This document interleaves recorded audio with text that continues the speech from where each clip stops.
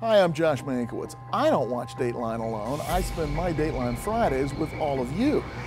On September 20th, I'm going to York, Pennsylvania to watch in person with some people I've been watching online with forever. On the 27th, I'd like to watch in person with you. Why you? Well, you tell us on Twitter or on Facebook. Go to our website for all the rules on how to enter, but remember, the more creative you are, the better the chances that you won't watch alone.